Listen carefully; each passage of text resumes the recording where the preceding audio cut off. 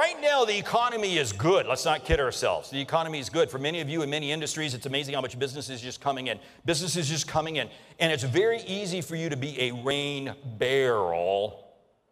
And, well, I don't have to prospect. I don't have to prospect because it's all right there. Well, let me tell you something. If you're a rain barrel, all you're doing is getting existing business. Our whole focus is to be a rainmaker. And a rainmaker is designed to do one thing generate incremental business. I want you to frame in your mind my goal, my objective is to create incremental volume, incremental sales. That's what my focus is. Because when I'm incrementally focused, that's what I'm doing. What I'm doing.